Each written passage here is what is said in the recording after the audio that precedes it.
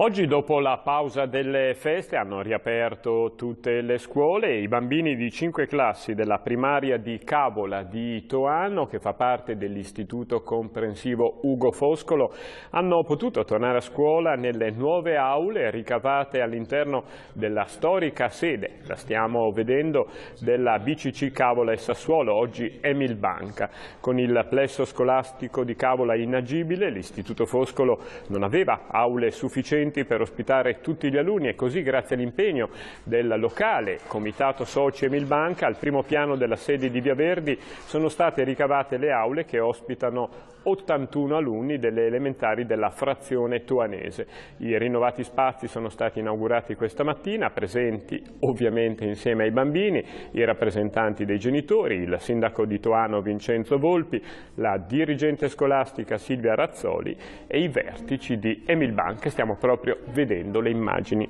dell'inaugurazione delle nuove aule della primaria di Cavola di Toano.